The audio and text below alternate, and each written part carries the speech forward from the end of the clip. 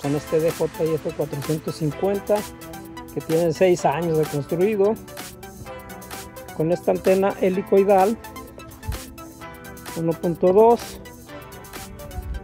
y vamos a calar también esta antena Matec con las gafas Shark la antena helicoidal nos está dando la imagen a este otro monitor con el receptor digital display. Y lo estamos grabando. Vamos a ver hasta dónde llegamos